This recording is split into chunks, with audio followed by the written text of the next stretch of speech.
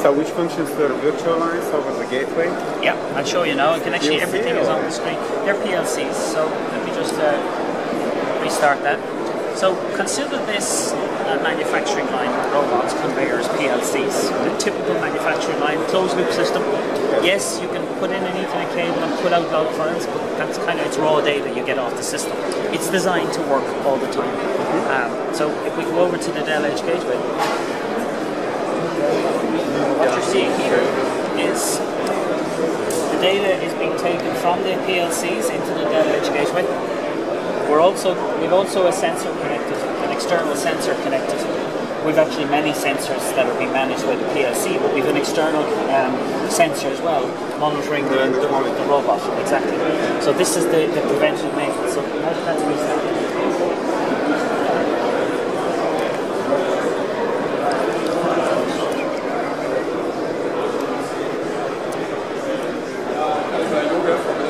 Ah, this one. Powered it off. This one turned on. So you can see already we're, we're capturing the production data. We're just using uh, Bluetooth and USB.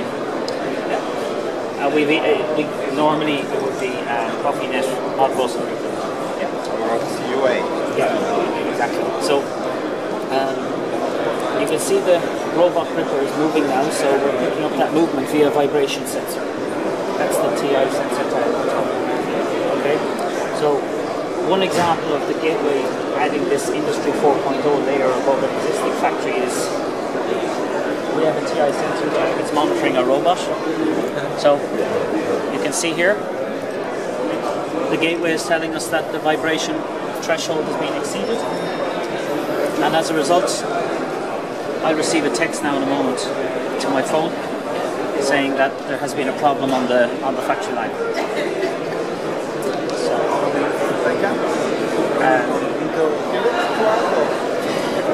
Actually, we're working on the action point. This particular application is working on action point private cloud, and there's a connection out to my email dashboard.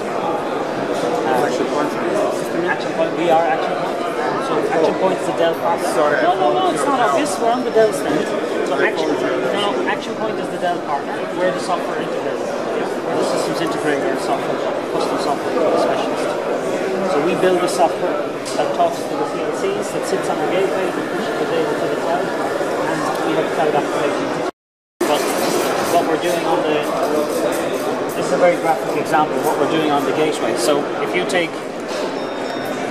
you take this scenario, a medical scenario, so the gateway is taking in 9,600 data points every minute. Okay? It's monitoring the accelerometer. Okay? And if I turn that, the patient has fallen down or the worker has fallen down, the worker is not back. This is all happening on the gateway. We're not sending anything to the cloud yet. So the event engine is inside. event engine is here, right?